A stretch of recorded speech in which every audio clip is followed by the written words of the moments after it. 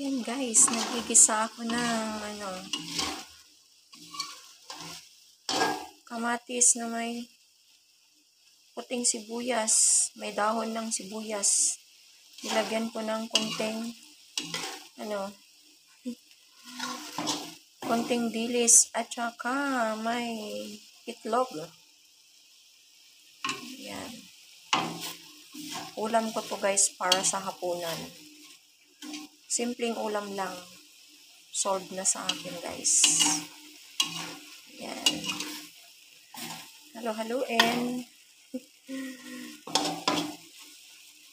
Ayaw ng alaga ko to guys, kaya ako lang ang kakain. Yan.